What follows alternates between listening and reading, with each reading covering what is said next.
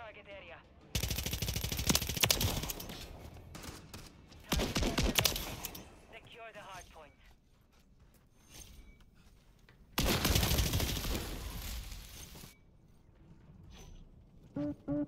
Secure the hard point.